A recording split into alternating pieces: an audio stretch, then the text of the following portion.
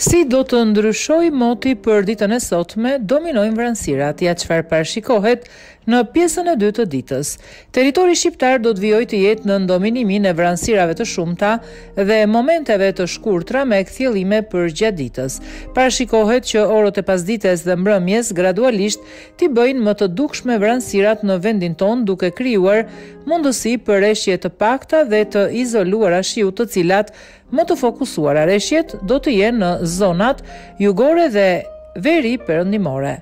Sipas Meteoalb, temperaturat e ajrit do të ulen në mëngjes, por do të rriten në mesditë, duke e luhatur vlera ditore nga zero gradë Celsius në tetëmbëdhjetë gradë Celsius.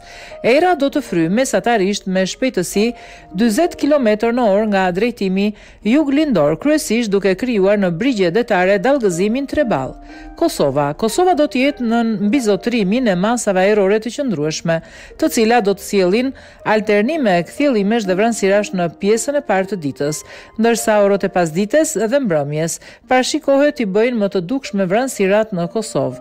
Maqedonia e Veriut, Territori i Maqedonisë së Veriut do të jetë nën dominimin e kthjellimeve dhe vranësirave të lehta në pjesën e parë të ditës në të gjithë vendin, ndërsa gjatë mbasdites dhe në vijim pritet që vranësirat gradualisht të shtohen në të gjithë territorin dhe më të dukshme do të jenë në zonat jugore, rajoni dhe Europa. Gadishulli skandinav do të jetë nën ndikimin e vranësirave të shumta të cilat do të gjenerojnë reshje dëbore. Gjithashtu, nën dominimin e vranësirave dhe reshjeve të shiut, Europa Perëndimore dhe pjesa më e madhe e jugut të kontinentit do të jetë nën reshjet e shiut, ndërsa lindja e kontinentit dhe pjesërisht Europa Qendrore do të jetë nën mbizotërimin e motit të qëndrueshëm.